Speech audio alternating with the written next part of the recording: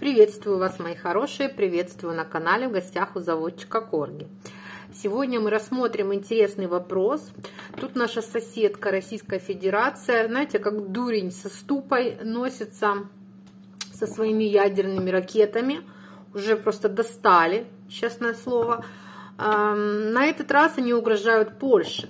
Поскольку э, поляки заявили, что они готовы разместить на своей территории ядерное оружие натовское, если будет в этом эм, необходимость, то Россия сразу же ответила а, угрозами атаковать Польшу, об этом э, ядерными ракетами, заметьте. Об этом заявил э, заступник министра закордонных справ РФ Сергей Рябков. То есть это не просто соловьиный помет, да, там разбрызгивал знаете ли, свою диарею, это вообще-то э, заместитель министра, да, то есть лицо как бы официальное. Ну, вот такие заявления. Причем, заметьте, заявления в ответ на размещение. То есть, э, когда Россия разместила свое ядерное оружие э, в Беларуси, да, то вообще их ничего не волновало, да. Прям при границе к Польше, да, так почему бы полякам не сделать так же в ответ? Ты посмотри, тут Россия возмущается – Мало того, не просто разместить свое оружие, где, а где они еще могут разместить, да? Поняли, где? В Караганде. Но прямо атаковать. То есть они готовы нанести ядерный удар по стране, которая им никакого вреда, собственно, не причинила реального, да? А только защищает свои границы. Ну, ничего удивительного, да? После войны в Украине уже ничего не удивляешься. Ну, давайте посмотрим. Вообще, все, что касается ядерного оружия, для России это большой блеф, вот, по моему мнению, большой блеф. Но все-таки проверить нужно. Давайте попробуем. Давненько мы с вами не делали кельтский крест. Давненько, давненько. Как-то я так люблю, знаете, как у меня идет. Вот у меня интуитивный расклад такой. Но есть вообще-то и интересные традиционные расклады. Будет о чем поговорить. Давайте. Итак, угрозы России нанести удар, ядерный удар по Польше. Возможны ли они? Будут ли они? И что это? Итак, ядерный удар Российской Федерации по Польше. Так, суть вопроса подсознательное, сознательное, что было, что будет. Интересно. Так. Сама Россия об этом что думает? Другие люди как влияют, страхи, опасения и чем дело закончится. Ну что, поехали? Так, суть вопроса. Ну, суть вопроса очень хорошо, собственно, выживание страны. И, возможно, не одной. Да? Сама жизнь, возможно, даже сама жизнь на Земле, в принципе. Суть вопроса. Так. Сознатель, сознательно. В сознательном у нас жертвы. Ну, тут тоже понятно, да, это огромные жертвы. На самом деле это опасность огромного количества жертв. Так, в подсознательном у нас все туда же, понимаете, хоть в сознательном, хоть в бессознательном. Это опасность и жертвы, заражения, и больших проблем, и материальных потерь.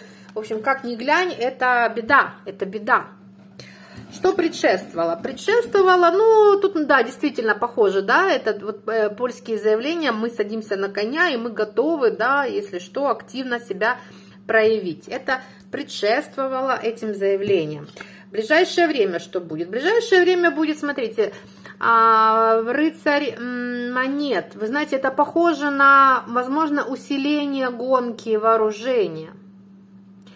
А, еще больше будут вкладываться вооружения, еще больше нагонять военный бюджет и вот все такое. Хорошо, что сама Россия думает по этому поводу? Сама Россия король мечей. Сама Россия готова воевать, убивать, насиловать другие люди. Но другой, весь мир, скажем, да, окружение, все-таки склонно договариваться. Весь мир склонен говорить, да, разговаривать, договариваться, искать точки соприкосновения. Чего Россия в данном случае боится? А боится она, смотрите, а какого-то выбора. Давайте сделаем эм, дополнительные карты выбора. Выбора. Какого выбора боится?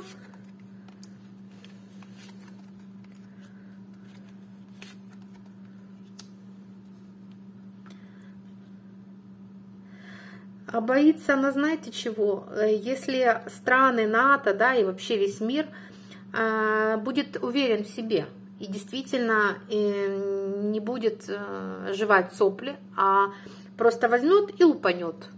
Просто возьмет и лупанет. Если весь мир действительно начнет себя уважать, перестанет бояться, да, уважать себя и просто лупанет в ответ. Просто лупанет. Это страхи России. И чем же это дело закончится? Закончится, скорее, это все-таки больше похоже на какую-то холодную войну. Все-таки это холодная война. Да? Пять жезлов – это конкуренция. Кто кого, кто кого переиграет, кто кого передавит. Последняя карта в колоде у нас четверка Э, кубков, поэтому я могу предположить, что это все-таки действительно понты дешевые, они готовы, как индюки, пыжиться, пугать, запугивать, э, делать заявления, потому что, ну, иначе они просто не могут. Такой стиль у них поведения и политики, но на самом деле какая-то атака ядерным оружием, она невозможна. А, давайте спросим, а почему? Почему? Просто их страхи получить в ответ – или есть что-то еще? Почему Россия, по какой причине Россия не готова нанести удар? По какой причине? Смотрите, очень интересно. А, паш двойка Пентакли и, собственно, сама Россия, да? Так, ну что? Ну, не все так и стабильно в России, видите? А, есть есть у них попажу. Э, паж жезлов. Паж жезлов, вообще-то жезлы брать как оружие, то попажу на самом деле они не уверены по двойке, не уверены в своем оружии, не уверены, да, у них есть сомнения в собственном этом оружии, смотрите, а, плюс это добавит очень много, добавит, знаете, беспокойства, борьбы с ними, много хлопот для них добавит, да, много проблем им добавит. Плюс иллюзия, посмотрите, то есть они еще где-то врут, где-то они врут. Врут о чем? О чем они врут? О магии, о своих возможностях. Врут они, смотрите, где-то у них иллюзии, где-то они о чем-то врут, о чем? О своих, ну, маг, о своих возможностях, о своих инструментах. Если в России а, реальное а, рабочее ядерное оружие, если в России реальное рабочее ядерное оружие. Вы знаете, по девятке мечей я бы так сказала, оружие-то у них есть. Конечно, 9 мечей, смотрите, сколько его. Только у них такое оружие, которого они сами боятся. Я думаю, у них прежде всего у самих страх применения этого оружия, потому что, знаете, где-то там на своей территории упадет, ну, как обычно это для них, да, либо сделает э, движение обратно, да, и прилетит прямо в бункер Кремля. В общем, они боятся его использовать. Оружие есть, но такое оружие, которого они сами боятся. А, но они готовы что-то делать еще. Посмотрите, они готовы активно, ну, непосредственно король кубков, а, я думаю, они готовят что-то новое или хотят сделать новое, что-то такое, не надеются на старые запасы, потому что они вызывают опасения, а готовы что-то новое делать, создавать новое оружие. Э, Причем, смотрите, такое оружие, которое бы действительно могло нанести смертельный удар.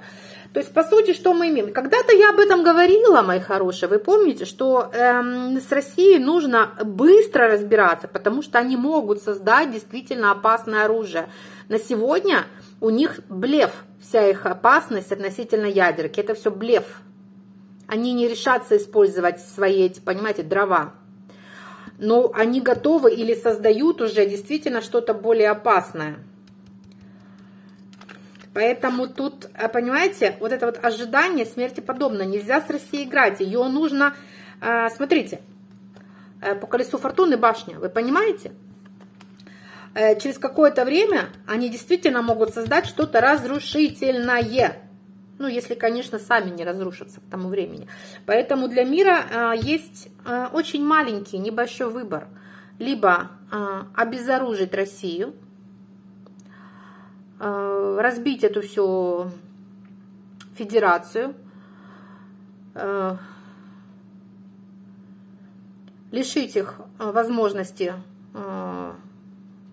производства э, смертельного оружия, освободить колонизированные народы и дать людям жить э, в свободных странах, дышать нормально свободным воздухом. Либо Россия будет бесконечно угрожать, и уже через определенное время эти угрозы действительно вместо иллюзий могут превратиться в 10 мечей. Вот что я вам скажу. Из девятки превратиться в десятку мечей. Хотя, конечно, этот удар может разрушить и саму Россию, нужно понимать, да, что тут, видите, по колесу фортуны. То есть, как посмотреть. Но вы понимаете, когда речь идет о маньяке, то ну, все возможно. Вы посмотрите, куда они уже вообще уже теряют разум. На сегодня это понты. Просто по определению на сегодня это понты. Но завтра ситуация может поменяться. И, к сожалению, к худшему. Причем к худшему не только для мира, но и для самой России. Это, то есть все идет, знаете, вот э, действительно это может возникнуть ядерная война, ядерная какая-то такая, знаете, перестрелка, в которой не будет победителей, не будет. Это страшное дело. Россия действительно представляет опасность для мира, мои хорошие. Но Россия действительно представляет опасность для мира. И здесь очень сложно просчитать, в какой момент. Такие дела. Дьявол. Понимаете, следующая карта. Дьявол. Это, знаете, одержимые люди. Одержимые.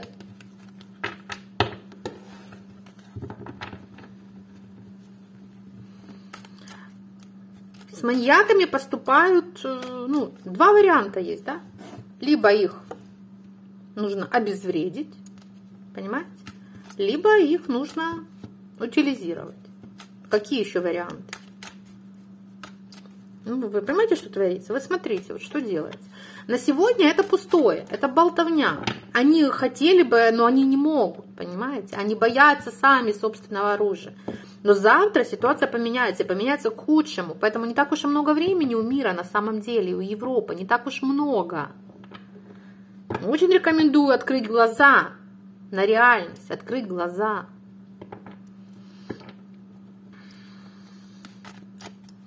Давайте так и спросим, если вероятность вообще ядерной войны, ядерной войны, давайте так, в которой будет участвовать Россия, да, потому что ядерная война, да, мы смотрели, это, в принципе, она возможна, но она как бы не в этом регионе. А, возможно, Ближний Восток, не знаю, но как бы не думаю, что это наш регион станет первооткрывателем да, ядерной войны? Явно нет. Но э, станет ли участником ядерной войны Россия? Все-таки спросим. Станет ли Россия, может ли стать, может ли стать Россия участником ядерной войны? Королева кубков, рыцарь жезлов, король жезлов, туз пентаклей. Пять мечей. Вы знаете, может. Может. Если у нее будет такая возможность, если у нее будет этот туз, вот если у нее появится этот туз, опять же его нет, мы говорим если, да, может ли, сможет ли, ли у нас есть. Вот если у них появится эта возможность, да, то они вполне будут готовы на агрессию, вполне, ничего их не сдержит. То есть, по сути, их сдерживает, по большому счету, отсутствие действительно нормального оружия и страх его использовать. Вот и все. А будет ли это ядерная война? Будет ли ядерная война на Земле? Будет ли это ядерная война? Рыцарь. Ну, смотрите, рыцарь это еще не война, но рыцарь это уже информационная атака, это уже подготовка, это уже нападки, да? Э, будем надеяться, что все-таки мир может избежать, может избежать, потому что рыцарь это еще не королев. Смотрите, король мечей. О, нормально вопросик, да? Очень велика опасность, мои хорошие, очень велика. Но опять же, что я могу сказать, что скорее это все-таки в другом, за морями, да, в другом регионе. Очень, да, видите, опять у других берегов. То есть большая вероятность, что если это, вот мы спросили, будет ли, вот опять, видите, да, она возможна, но скорее это будет в других регионах, где-то там вот за морями, да, там за морями. Ой, ну, в общем-то, от этого не легче. От этого не легче. Ну, вот такая ситуация. Такая ситуация. По большому счету прогноз не меняется, потому что все время, когда мы рассматривали с вами вот перспективы ядерного оружия в России, то, в принципе, всегда плюс-минус тоже и падало. И, ну, карты только повторяются. Карты в данном случае повторяются.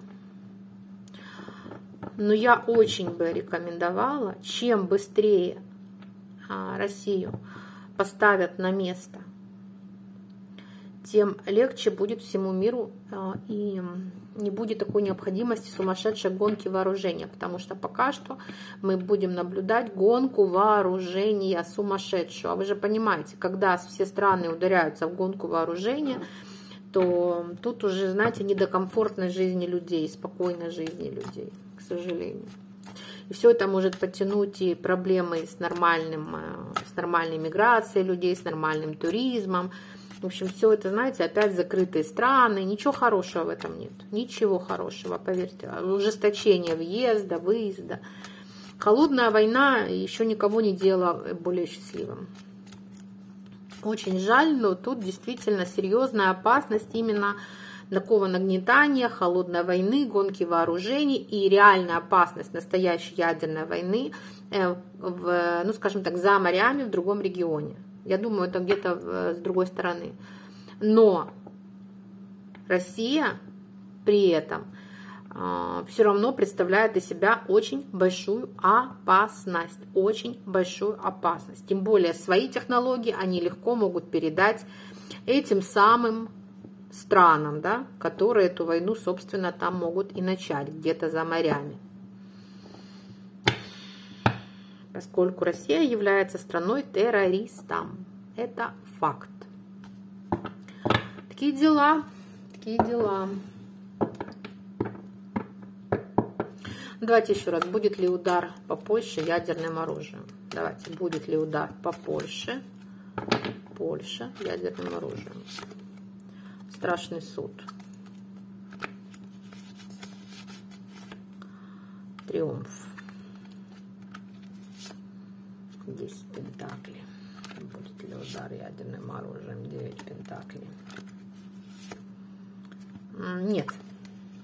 Нет, Польша будет, смотрите, у Польши получится не просто выстоять, да, а тут как в этой ситуации, как будто бы в каком-то быть на коне, в неком триумфе, и я считаю, что вот в этой ситуации все-таки Польша выдержит э, марку, да, и э, им еще удастся при этом и ну, как-то материально, что ли, вырасти, усилиться, да, улучшить свои позиции для поляков. Для поляков здесь выигрышная позиция. Украина ну уж давайте посмотрим, да, может ли быть ядерный удар по территории Украины. Тем более эта тема неоднократно вами поднималась. Может ли быть ядерный удар то по, по Одессе, то еще там где-то. Может ли быть ядерный удар? Будет ли ядерный удар по территории Украины? Будет ли ядерный удар по территории Украины? Нет, мои хорошие. Четверка. Просто посмотрите на эту карту. Четверка кубков. Э, при любом раскладе это нет. Нет. И а, при этом рыцарь, то же самое, что мы видели, да, это холодная война, это нападки, это ИПСО, это запугивание, это информационные атаки. А, и это уже было, и это будет, как было в прошлом. Снова будут повторяться эти атаки. Нет, не будет удара, но информационные атаки нужно переживать стоически, мои хорошие. И максимально вести диалог с миром, потому что только все вместе мы можем связать руки маньяку, только все вместе. Потому что, конечно, он силен, Но здесь, чем больше мы его боимся, тем он становится сильнее. Его не стоит бояться, он сам боится, этот маньяк. Этот маньяк, он боится на самом деле сам, единства. Он боится, что мир объединится против него и даст ему хорошую дюлину. Действительно, нанесет удар, начнет себя уважать и нанесет ему удар. Они на самом деле дикие трусы. Трусы, понимаете? И это важно осознать.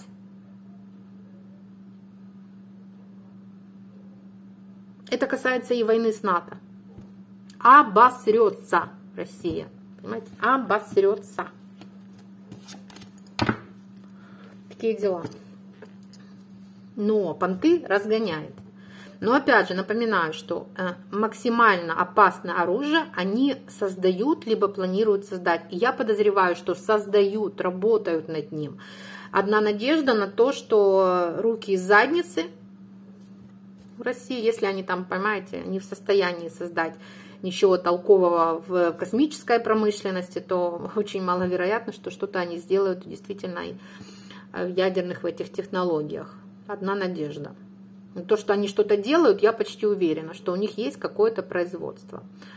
Ну, уже ж посадили разработчиков э, каких-то там ракет, да, ну вот еще кого-то посадят. Очень, очень, очень надеюсь, что ничего у них из этого не получится. Но то, что они могут продать разработки, продать материалы в другой стране, в которой найдутся люди, знаете ли, по толкове. Вот это в этом опасность. В этом основная опасность. Вот в этом. Такие дела, мои хорошие. Люблю, целую. Обязательно увидимся.